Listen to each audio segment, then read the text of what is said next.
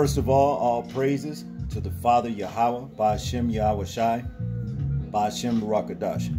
Shabbat Shalom to all the brothers and sisters in recognition to worshiping this day, the Most High, worshiping Him. Sundown this evening to sundown tomorrow evening. Let's get some praises, worship, and rest in Father.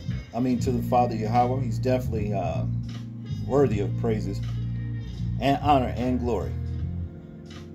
Ba'ashem Yahweh Shai. As we just watched you know, in Christian religion as well as uh, Hindu or Muslim religion, we see um, these different um, idols, you know, of wood and stone.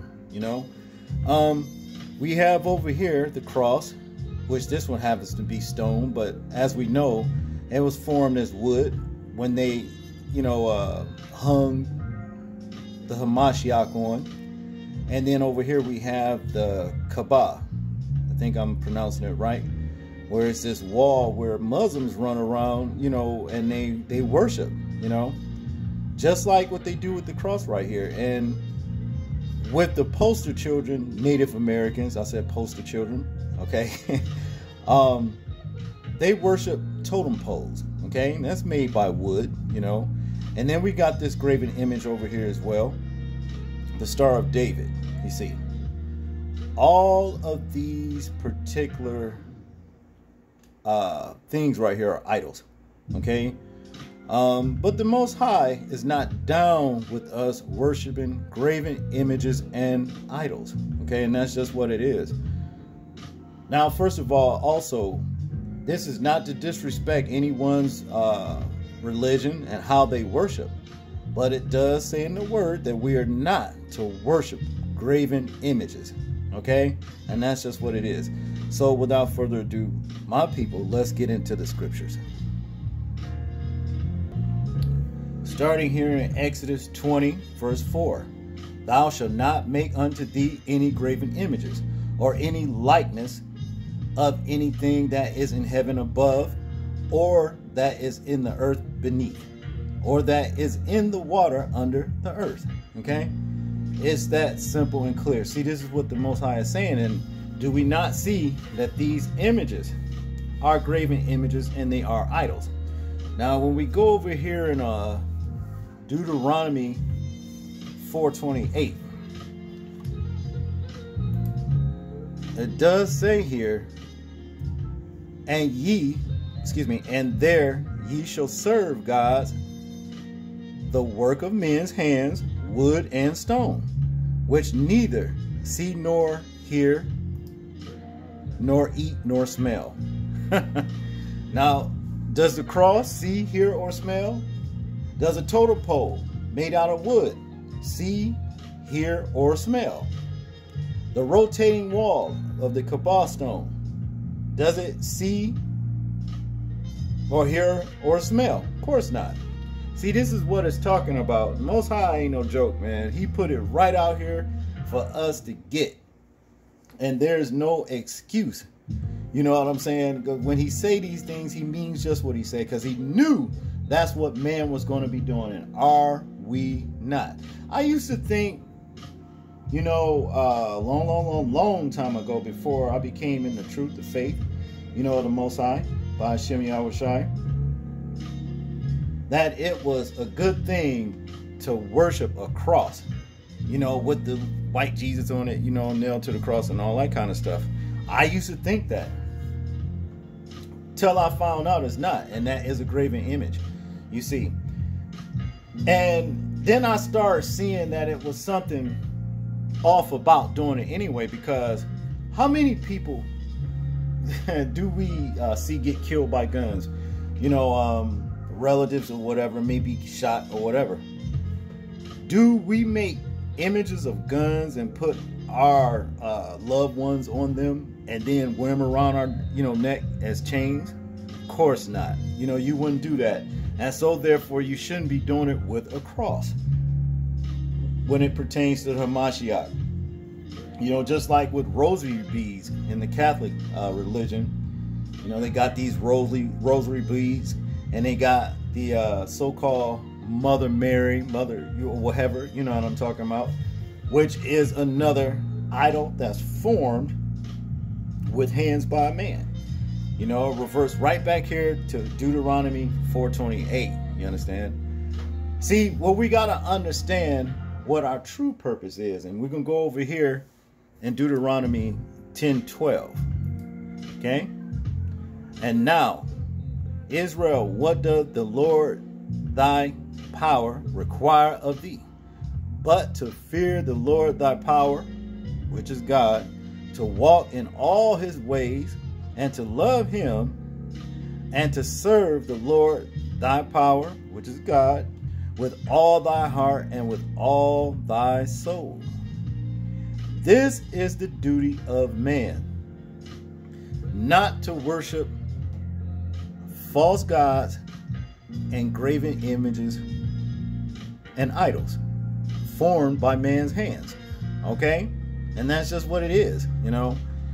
Now we go over here to Exodus 25. Well, chapter 20, verse 5. What does it say here? It says, Thou shalt not bow down thyself to them nor serve them, for I, the Lord, thy power, am a jealous God. Okay? Visiting the iniquity of the fathers upon the children unto the third and fourth generations of them that hate me. Right there is saying, if you refuse to repent and bow to the Most High in the name of Yahweh Shai, but you rather bow to a false God, an idol, a graven image that can't see, neither hear or smell, formed and fashioned by a man's hands, you hate the Most High. You hate the Most High. If you rather do that thinking that you are serving, you understand Him, but then when somebody come and tell you different and tell you the truth and make you see and understand what's really what, what you're really doing, then and if you refuse, then you hate Him. You hate Him. Okay? That's just what it is. Let's go back to Exodus chapter 20, verse 4. Okay? Let's read this chapter right here. It says here, And God, your power, spake all these words, saying, I am the Lord thy God, which have brought thee out of the land of Egypt, out of the house of bondage.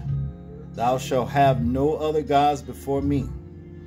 Thou shalt not make unto thee any graven images or any likeness of anything that is in heaven above or that is in the earth beneath, or that is in the water under the earth. Thou shalt not bow down thyself to them, nor serve them. For I, the Lord, your power, which is God, am a jealous God, visiting the iniquities of the fathers upon the children unto the third and fourth generation of them that hate me, and showing mercy unto thousands of them that love me and keep my commandments. Thou shalt not take the name of the Lord thy God in vain. The Lord will not hold him guiltless that taketh his name in vain. That goes into another lesson about his name. You know what I mean? Because as we know, there's no J's for those of us that do know in the Hebrew. You know what I'm talking about? So therefore his name, which the Hamashiach is not Jesus. You know? And the Father said that his name is in the Son. And the Father's name is said to be Yahweh. Okay? It is in the word. His name is Yahweh. So then that would make the Son's name Yahweh Shai but it all depends on what dialect you are speaking in. Because you have the Paleo Hebrew and Yiddish Hebrew. And so there are different pronunciations when it comes to, you know, people, um, how they speak his name. Okay?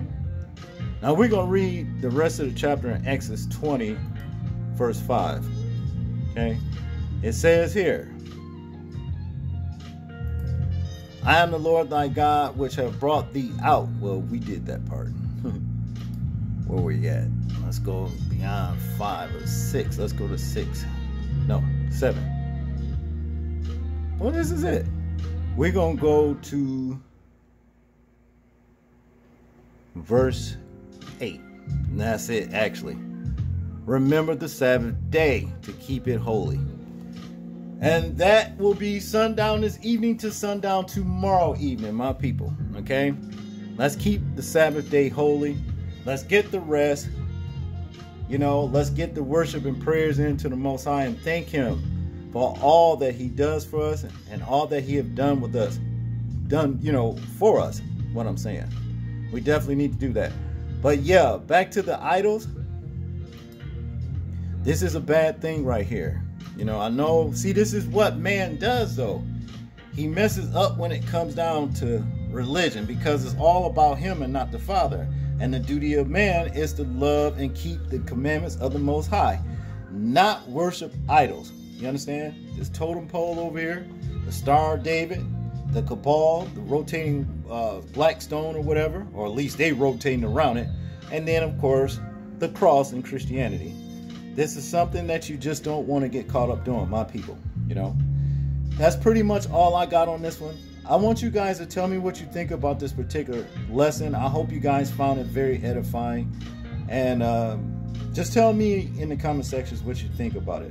You know, I'm interested in hearing your thoughts, views, and opinions on it. Like, comment, share, and subscribe. And people, please remember to live your life as though we're being watched. Simply because we are. This is James, and I'm out. Peace.